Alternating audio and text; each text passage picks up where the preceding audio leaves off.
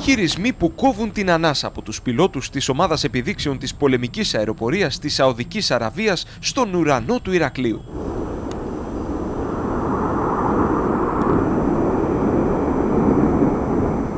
Λίγο μετά τη μία το μεσημέρι και ο εκοφαντικός ήχος μαχητικών αναγκάζει τους πολίτες να σηκώσουν το βλέμμα τους προς τον ουρανό και να παρακολουθήσουν κάτι μοναδικό.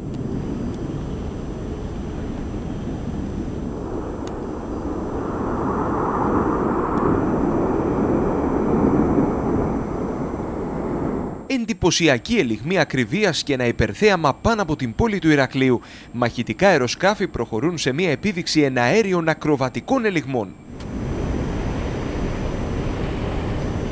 Πολύχρωμοι σχηματισμοί μαχητικών σκίζουν τους εθέρες θυμίζοντας σε όλους τους ελιγμούς της ομάδας ΖΕΒΣ της πολεμικής μας αεροπορίας που κολίγες φορές έχει προχωρήσει σε εντυπωσιακές επιδείξεις. Πώς βρέθηκαν τώρα τα πολεμικά μαχητικά της Σαουδικής Αραβίας στο Ηράκλειο για εφοδιασμό στο αεροδρόμιο με τους πιλότους να μην χάνουν την ευκαιρία και να χαρίζουν ένα θέαμα αφήνοντας τους Ηρακλειώτες με το στόμα ανοιχτό;